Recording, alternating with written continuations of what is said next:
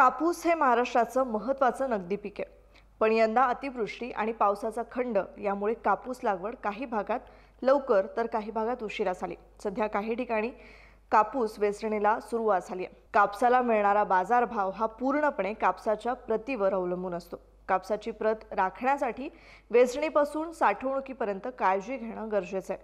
कापूस वेचणी साठवण आणि प्रतवारी करताना नेमकी कोणती काळजी घ्यायची याचीच माहिती आजच्या या व्हिडिओतून आपण घेणार आहोत.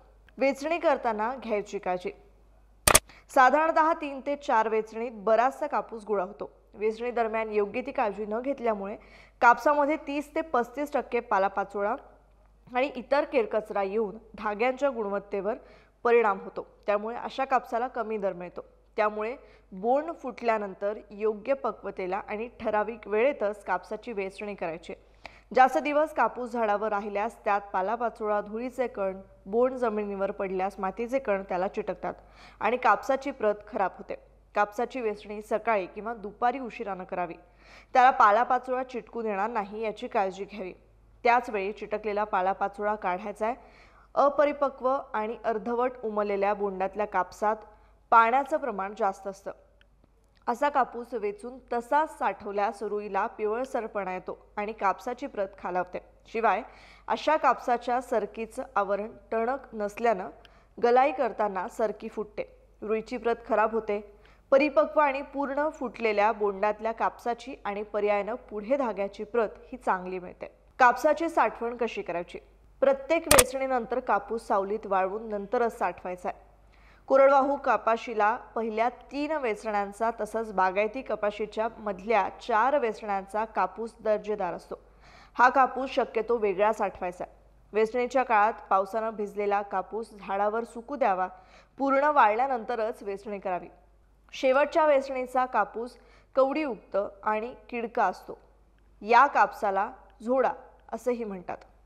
अशा कापसाची रुई आणि धागा हा निकृष्ट दर्जाचा असतो म्हणून असा कापूस वेगळा साठवावा कापसावर रस शोषण करणाऱ्या किडींचा प्रादुर्भाव जास्त असल्यास हा चिकट स्राव पानावरून कापसावर पडतो आणि रुईची प्रत खालावते. अशा कापसाची साठवणही वेगळी करायची. आहे पूर्णपणे कोरड्या कापसाची वेचणी करून तो कोरड्या खोलीत साठवून ठेवावा. उघड्या अंगणात कापूस साठवलेला असल्यास त्वरित झाकून ठेवावा. डागाळलेले रंग बदललेल्या किडलेल्या म्हणजेच कावडी कापूस वेगळा साठवावा कापसाच्या गंजीत केरकचरा किंवा धुळीचे कण मिसळणार नाहीत याची काळजी घ्यावी. कापूस मोकळी हवा असलेल्या पक्क्या गोदामात ठेवावा. ओलसर जागेत साठवणूक केल्यास त्या कापसाला पिवळसरपणा येतो. वेगवेगळ्या मानांच्या कापसाची ही साठवण वेगवेगळी करावी. त्यात मिसळण झाल्यास चांगल्या कापसाचाही दर कमी होतो हे लक्षात ठेवा. कापसाची प्रतवारी. कापसाची प्रतवारी ठरवून दिलेल्या कापसाच्या गुणवत्तेनुसारच करणं गरजेचं असतं. कापसाच्या वेचणीची आणि विक्रीची वेळ जवळपास सारखीच असते. त्यामुळे बाजारपेठेत आणि संकलन केंद्रांवर कापसाची आवक सुरू असल्यामुळे प्रतवारी मोजमाप आणि प्रक्रियेमध्ये अडचणी येत असतात. म्हणूनच सदृश्य पद्धतीनं कापसाच्या प्रतवारीचं काम होतं.